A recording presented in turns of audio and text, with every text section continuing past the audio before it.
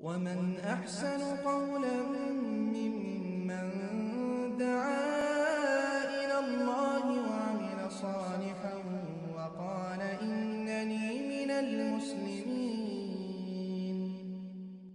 আলহামদুলিল্লাহ এক বোন প্রশ্ন করেছেন যে সালাম দেয়া সুন্নত এবং সালামের আহ, জবাব দেওয়া ওয়াজিব এই কথাটা কি সঠিক হ্যাঁ এই কথাটা সঠিক কোনো অসুবিধা নাই কোনো সন্দেহ নাই আহ, এই জন্য যে আহ, ইবতেদাউস সালাম অর্থাৎ প্রাথমিকভাবে সালাম দেওয়াটা কোনো ওয়াজিব কাজ নয় বরং এটা হচ্ছে সুন্নত কাজ। আর জবাব দেওয়াটা ওয়াজিব যেটা অন্য হাদিস দ্বারা প্রমাণিত রয়েছে। আল্লাহ নবী ওয়াসাল্লাম বলছেন যে একজন মুসলিমের উপরে আরেকজন মুসলিমের দাবি হলো বা ওয়াজিব হলো পাঁচটা কাজ।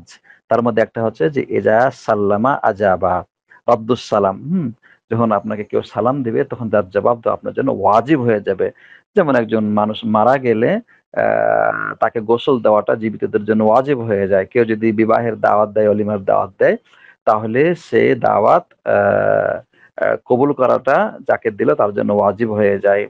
অনুরূপভাবে একজন মুসলিম যদি অসুস্থ হয় তাহলে তার শুশ্রূষা করাটা অন্য মুসলিমদের জন্য ওয়াজিব হয়ে যায়। এরকম হচ্ছে সালামের বিষয় আর কি। হুম। আহ, সুতরাং এটা সঠিক কথা আল্লাহ তাআলা আলম। আর সালাম দিলে নব্বই নেকি, সালাম উত্তর দিলে দশ নেকি, এটা ভুল কথা। এটা সঠিক নয়। বরং সালাম যদি দিন, আপনি আসসালামু আলাইকুম বলেন, তাহলে দশ নেকি রহমতুল্লাহ বললে বিশ নেকি এবং অবারাকাতু বললে তিরিশ নেকি। ঠিক অনুরূপভাবে যে ব্যক্তি জবাব দিবে, সে যদি এভাবে জবাব দেয়, তাহলেও সে তিরিশ নেকি লাভ করবে। আল্লাহ আলম